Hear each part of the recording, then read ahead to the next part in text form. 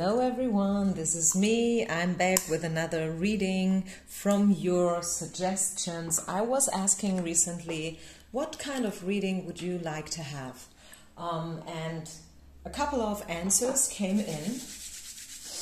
And now, hmm, I'm doing it. Okay, so this is a reading um, for the single ladies, the single men out there, all the single ladies, all the single ladies, um, about, okay, you know what? I'm single. I don't have anyone in mind.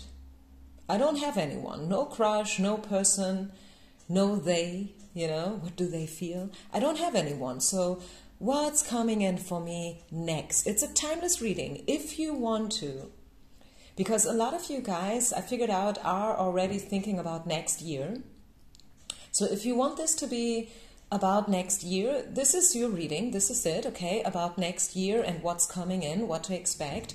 Um, but I want this to be open, as open as possible. So whenever you find this reading, or let's better say, whenever this reading finds you, it will hold an answer. Okay? So let's go. No piles to choose from, three piles to choose from. Okay, no symbols, no crystal stones, nothing. Just go with your gut feeling. I know some of you out there they hate it if I do it like this, but this is my style. Okay, I'm sorry, but this is just how I'm doing it. Um, so I hope you can somehow arrange yourself um, with this, yeah, with this setup, uh, go with your gut feeling. Close your eyes, take a deep breath. And then ask yourself, ask your spirit team, ask your higher self, what pile should I choose? Number one? Or is it number two? Or maybe number three? Okay? If you need a little bit more time, feel free to press the pause button. We are not in a hurry at all here, not at all, so you have all the time in the world. Let's go. Pile number one. If you felt drawn to pile number one, what's coming? What shall we know about your love department next year? Next year or the next couple of weeks and months. It depends. So you decide the timeline and I tell you what I see, okay? So first of all, what I'm doing is I'm using Chuck Spezzano's Love Pack, which was sold out in Germany for quite a while. I'm so happy that I got the deck um, and I want to go here with the book. So, pile number one. What's your first message? A dream come true. Wow. Who? Oh my goodness. a dream come true. Okay, jackpot. a dream come true means that something you really want is here for us now. This is a happy dream of love and success that makes us want to dance in the streets and in the sheets if only we could choose to have pleasant dreams, we would celebrate heaven on earth. This card is one of great good fortune. Wow. The card signifies that the outcome is favorable. Something you dearly wanted is going to happen. Oh my God, I mean, this is awesome. This is beautiful. All that you've worked or wished for is about to arrive. You are victorious and about to be advanced. You have attained your heart's desire. This is a good this is as good as it gets. So now is time to enjoy your triumph. As happens sometimes in life and often in fairy tales, your dream is coming true. Your ship has come in. Now is a time for revelry and merrymaking. So I don't know what revelry is, revelry, but anyways, um, yeah, I mean, whew, this is going to be a quick one. because I mean, this card that was like bam, right in, okay? Like, okay, let's not beat around the bush here, let's just go there straight away, like bam. So, pile number one, this is your message. You will get what you want, okay? If and I don't want to speak about the past here. I often do that. Like I'm, I'm saying that, hey, I feel you. I know that you are coming from a bad situation and you may have experienced this or that. And you may are coming from a place or a person, a situation where this and that happened to you. But you know what? I don't want to talk about the past here because it doesn't matter where you're coming from. What matters is that something beautiful is waiting for you at the horizon it's your time now. It's as they say, your ship is coming in now. Your dream is coming true. Now is a time for merrymaking. And I love that because I really, I truly feel that you guys, you really, really deserve this. Um, yeah, and now look at that. I mean, you can't make this up. You can't. You saw me doing this, like, you know, I put it completely up to spirit. Which card came out? I was shuffling live in front of the camera and I was just like randomly, you know, opened, I just opened one page here in this book. And these two messages, they fit together like a hand and a glove. Healing. Healing is going to take place for you. And I am so happy that this is a reading, especially for those who are singled. I'm not, I mean, maybe you're not. Maybe you have this thing going on with someone like, oh, very much drama in it and, you know, like crazy love and in and out and up and down and yes and no, like these kind of relationships. Maybe some of you, you were kind of ignoring the headline of the message and you were like, okay, I want a love message, so I take this reading anyways. But at the bottom line, this reading was meant to be for those who are single and who don't have someone in mind. Someone like me, for example. Because I tell you a secret, I'm single right now and I don't have anyone in mind right now. I'm open to a certain point, I would say, but I am at a point in my life even like you know like with my age and everything i'm 46 now i don't want just anyone you know like just someone. I want the one. I want someone special. I want someone who lifts me up. I want someone who appreciates me.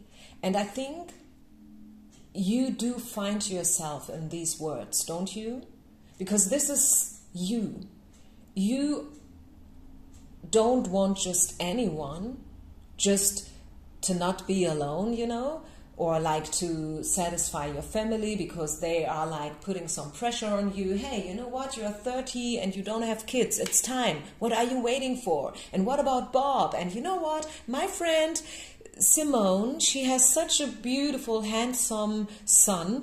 What would you say if I kind of, you know, like bring you guys together? No, you don't want that you want someone, and it's not just about who you want, it's also how it's going to happen, I feel. Like it will happen naturally, it will unfold organically. You don't have to force it, you don't have to chase it, you know, like it's all about a natural thing to happen because you are coming from a place of love and this person too. It's not about feeling needy and trying to cover up something with this relationship and trying you know like hoping that someone else is going to make you happy.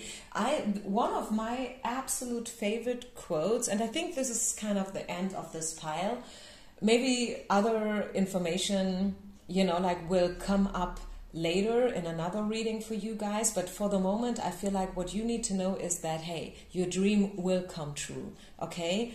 But um, let me just say this. One of my very favorite quotes is from Osho. And he said, like, hey, you know what the problem is? If you think someone else will make you happy, you know, like you need someone else to make you happy, right? And then like the quintus the the opposite is also true because if someone else can make you happy someone else can also make you unhappy right But let me ask you something. What is your duty in your life then?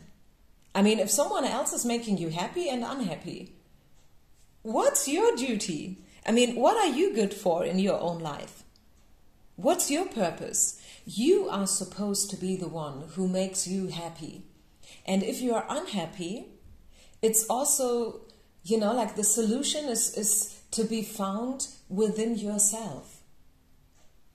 You can always blame someone else, like my ex, my boss, my family, my childhood. This is because of my chronic disease that I have. I would love to do this or that, but you know, like due to this and that, I can't.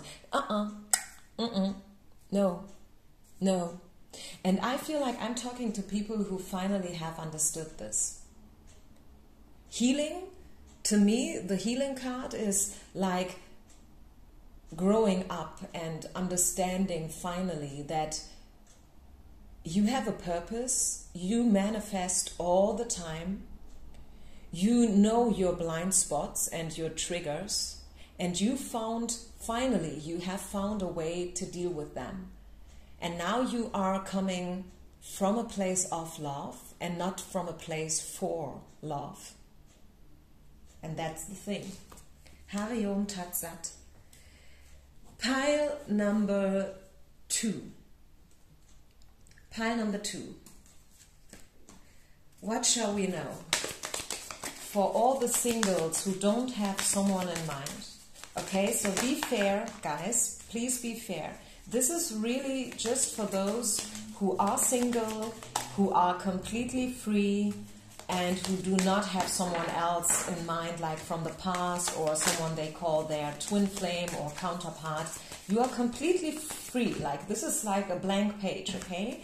And you want to know what's happening for me, what to expect in the future, or maybe since I'm uploading at the end of the year, maybe this is a sneak preview to the next year. It depends on when you find this reading, okay? It's timeless. Okay, let's go. What shall we know? the problem here is we have a fear of inadequacy. Okay, that is your problem, or at least this is something that plays a role when we talk about love and your personal love situation. Um, the fear to not be good enough, you know what I'm saying? The fear to, yeah, just not to be good enough and maybe also not to fit into the system. Maybe you would say that you are too fat or maybe too skinny. Maybe it's your age. Maybe you feel like you are too too old anyways. Like or maybe you are just 16 and you are already waiting for the one you have all your life in front of you, but you feel like you want this person to come in right now, okay? And others, they would probably say, hey, you are way too young let's give it a while. Like you can wait 10 years until you find them, but you want it now.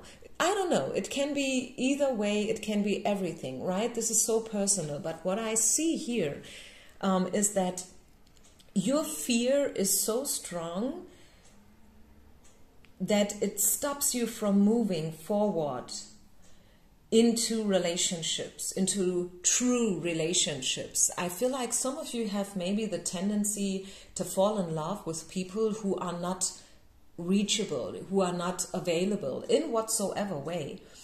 Mm, I feel like you believe that you are not good enough, and as a result, you are maybe not able to handle what comes next. Mm, the interpretation of this card, I, I want to read this from the book, okay?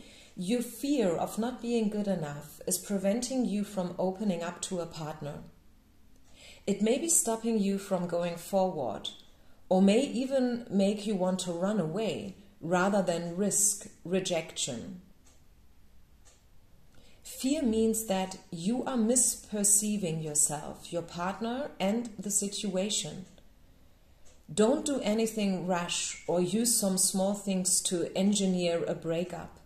Because in truth, this is just for your fear of inadequacy. If you get this card, commit to healing this mistaking feeling inside yourself. Ask for help, especially from your higher consciousness. This is the time to resolve your fear rather than sabotage your relationship or the possibility of one. If your partner receives this card, it is important to communicate how you feel about them. This is a time when reassurance is most helpful and timely.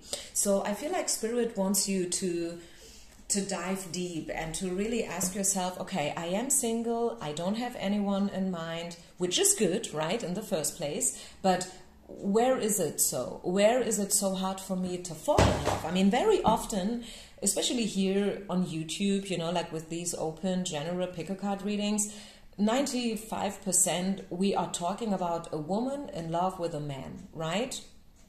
A woman in love with a man, but the man is not feeling it back or there is something else going on that's causing an issue, a, problem, right? This is what we are dealing with here, like to more than 90%, I would say. Right or right? Would you agree here? I guess you would, right? Um, yes, sometimes we ask about health or family affairs. Sometimes we ask about job, but most of the time it's all about love and it's all about how do they feel, what do they want, are they still thinking about me? Will we reconcile? You know? But sometimes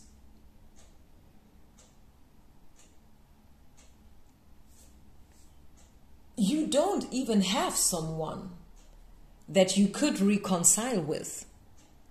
You know what I'm saying? So sometimes I mean, it's one thing to be in love with someone, probably secretly or unhappily, but you know, it's another point if you don't have someone you are in love with.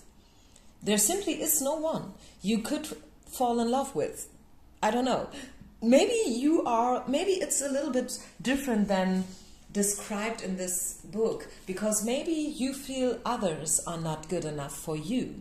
Maybe you have something to complain with every person that appears. Like okay the nose is too long the hair is too short or maybe i don't like his job i don't like his family. They talk in a weird way. They are not spiritual enough. I don't know you know? So it could be either ways but something to do with not being good enough that you should deal with and that you should dive into a little bit more in order to find out why is it that I'm single, maybe even single for years already, okay, this requires a lot of honesty. This requires a lot of honesty. Okay, you have to be, as I like to say, brutally honest with yourself once. Okay, that is the good news. The good news is you just have to be honest once. Because once you are able to say it out loud. And hey, you know what? It's another good news. You don't even have to talk about that with other people. It's enough if you are honest with yourself and you say to yourself, okay, I find out or I, I, I do understand now that I am part of the problem. It's either my fear of not being good enough or it's my criticism. Maybe I'm a perfectionist and it's just too much. It's just too much. Nobody out there can fit my standard. And this way, I'm sabotaging myself. Say it out loud once. It takes you one minute. But it's a whole new, you know, like it, it changes everything. So, are you brave enough for just one minute? Or maybe you're not. I mean, then you, probably another year will pass with you being single and people not feeling good enough for you, or you not feeling good enough for others. It's a choice, right? Yeah, and here we go. This is why we see the entrapment card. Did you fall or do you fall into the same trap again and again and again? Do you repetitively fall in love with the wrong people? Do you hold yourself back? Are you sabotaging yourself? I think so, because otherwise, and I said it in pile number one, you can't make this up. I mean, you see me, I'm here, I'm using the whole deck, I'm shuffling live in front of the camera, right? I don't cut my readings in whatsoever way, so I do never manipulate a reading in any way. So I say it the way I see it, and sometimes the truth is not so easy to swallow. I, I this is usually when I get negative feedback. This is people who are not honest and who are not willing to see the truth as it is. But you know what? I don't mind. I mean, my job is not, how can I say that? This is an opportunity. This reading, this pile is an opportunity. You are now getting an opportunity to think about yourself and your patterns and your past and your ways, like your habits, your, your blockages, your beliefs. And you either take this opportunity or not. And you know what? This is up to you. It's not my thing, it's yours. Are you willing to work on yourself or do you prefer to stay in the trap? Is there anything else Spirit wants you to know? Any other message?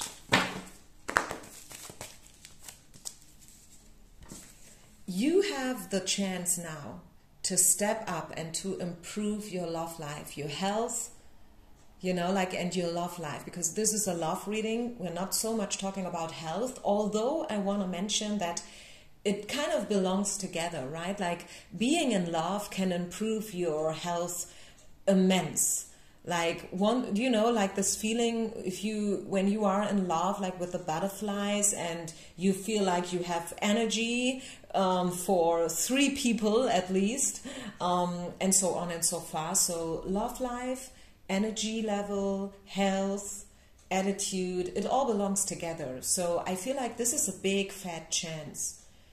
And it's up to you whether you want to take it or not, okay? Okay, let's go. Pile number three, last but not least. Pile number three, what shall we know for you? The singles out there, just the singles. So be fair, if you are not a single, then this is not your reading today. I will upload other readings and I have uploaded so many, many, many, many, many readings before. I'm sure there's one for you. Um, if you are asking about reconciliation and what they think, what they feel, this is not your reading. This reading is a request of my subscribers, and some of them wanted a reading especially for the single people who do not have a certain person in mind. Okay, so let's be fair. Let's give everybody um, a true chance to get their message. And this is now pile number three. Okay, two cards. Wow.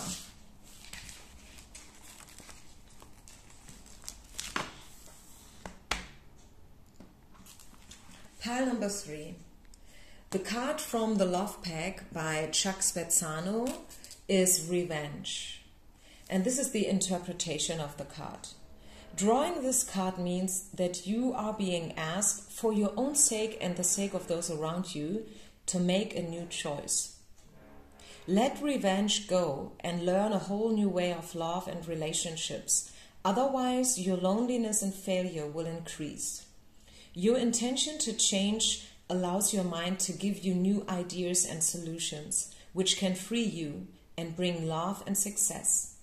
Revenge comes from heartbreak and only leads to more heartbreak, which themselves are a form of revenge. You could have intimacy, tenderness, and partnership. You could. But do you really want to get back at someone even at your own expense or to enjoy true love and happiness? So I feel like maybe you have someone in mind. Maybe there is this one person that secretly you still are thinking about them and you still hope that somehow it's going to happen between you and them. But there must have been something like a, a bigger issue between you guys which caused the heartbreak and the pain and the breakup.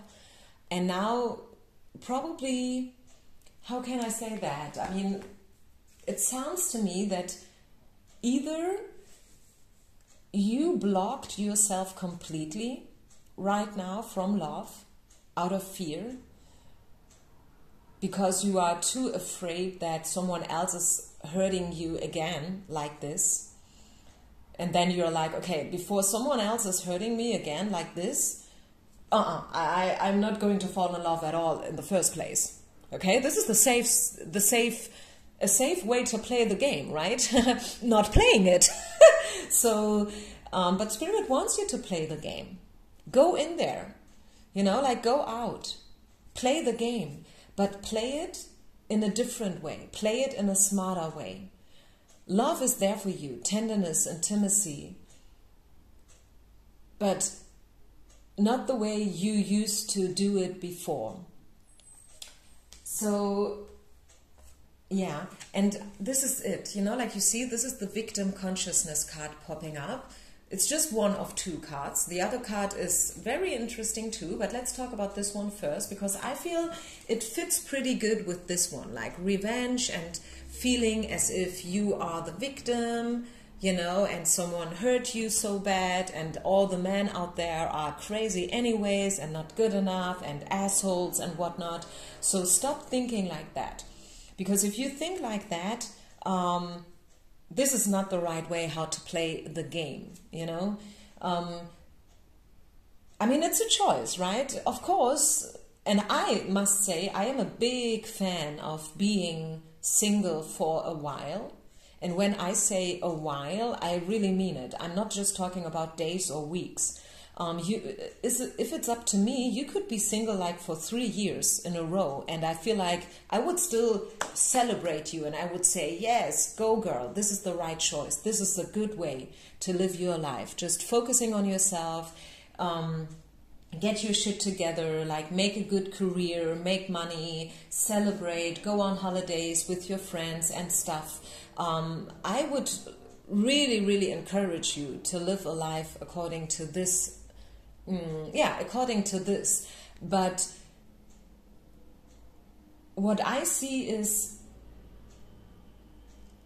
some people live their life according to this attitude and they are single and they really celebrate life and they make career and good money and stuff but deep down within themselves there is this desire for intimacy and a love relationship which is totally okay the question is only are you suppressing something? Are you trying to distract yourself? Or are you really, truly enjoying yourself and your me time? Okay, there's a difference. It's a fine line. It's a fine line. Um, I think everyone has to figure it out by themselves. And then we also have a lot of people out there, a lot of people who don't want to be alone at all. I would even say you can't be alone. Like being alone to you is, it's no, this is not gonna happen. It's it's you don't even want to think about it. Some people, I the the I don't know. I, I see it also with my colleagues. You know, I am a flight attendant. If you don't know, you know now. And let's just say we go to Rio or Japan, like Tokyo or Shanghai or Delhi. the thing is, some people they stay in the hotel for the whole time. And they do room service, and probably they have some good books, or they study on their room. Like you know, like some people they do are flight attendants, but at the same time they are um, studying some other stuff at university, and this is a good time for them to do their homework, or maybe they use the gym at the hotel, they do sport and whatnot, or they get together and they just have a drink in the in the coffee or at the bar. Others, and this is how I am, they go out.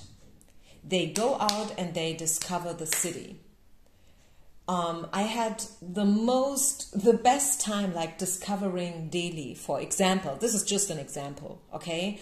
I've been to many, many different places, um, but I, while I'm talking about this, I have this image of myself when I was driving with the tuk tuk through Delhi and discovered markets and I don't know, like went to buy some fruit or you know like discovered some cultural stuff and i like to do it all by myself. But i am really I sometimes I feel I'm the only one who's doing it like that because mostly the people they want to do it together. And then they are asking in the hotel lobby when we check in as a crew they say okay and who's doing something tomorrow? Can I join is someone going to this or that market? Can I join? Shall we do it together? Can we do this or that together? Do you want to do this with me together? I don't want to do anything together. I want to do it all by myself. But this is just me. I'm not saying that this is the only way to happiness. Not. Don't get me wrong here. I'm just trying to explain to you that we humans we are different everyone is different you know like some people they prefer being together others they prefer doing their own thing you know and you can mix it up. Sometimes you like to do things all by yourself and then other days you want to gather you want to have a party you want to have a coffee or a drink. You are looking forward to some inspiration. And hey i mean where are you getting the inspiration from? From others. Like either way you are getting the inspiration you are getting it from your counterpart you need others in order yeah to live and to blossom. So I don't want to judge here whether it's good or not good to be alone or to be not alone. It's just, it depends on how makes it, how are you feeling about it? Because it's not helping you if you try to be alone, but you feel like shit while you are alone. I would rather um, say then, hey, you know, like if you can't be alone at all, then don't be alone. Okay? But at least try to be with people who make you feel good. Because if there's one thing that I do not want to see any longer in this world is people living a shitty life because they are surrounded by people who treat them like shit. This is something that I do not want to see in this lifetime anymore, especially for the women. Don't be with someone who beats you up either emotionally or physically, right? Don't be with someone who is using you just or who is not seeing your value, who's not respecting you. Please don't be with someone like that.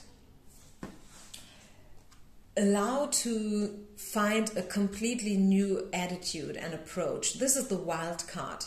Okay, you look at her. She's wearing a red dress, she looks sexy um, and she has a lamp. She's searching something. So I feel like everything that I just said, like within the last five or ten minutes throughout this this this pile, pile number three, is your invitation and permission to find out what suits you. What do you need to be happy? Do you need company or do you need more me time all by yourself? Do you want to gather with people or do you prefer to travel alone? At least for a while, maybe. I don't know. So, this is a wild card, okay? Spirit is not so much giving us some information about people coming into your life, but Spirit is telling you that you are being asked, you are being called out here to discover yourself and your needs a little bit more. In order, like the question was, what is happening love wise? You know, like what can I expect in terms of my love life? And the answer is before something in your love life is happening, you have to figure yourself out. And then we will bring people in and then we will bring you you know like the one you were looking for searching for waiting for. But first you have to figure out what you want and you have to get out of the victim consciousness. That is very very very important. You have to understand what's your role what's your part in this drama in this play. You have to understand the rules how to play this game in a good way and how to play it in a toxic way and then choose do you want to have a toxic relationship or do you want to have a healthy one it's easy as that right? And once again, I said it in pile number two you have to be honest with yourself. You have to be honest with yourself. This is how you allow the change to come in. I hope you like this reading. It was very, very intense. Um, and I want to thank you for being so brave and courageous to listen to such messages because I know sometimes it's not so easy to understand and to accept. But this is what wanted to come up today. Thank you for your suggestions. They are still coming in, and I really appreciate that. Peace out and namaste.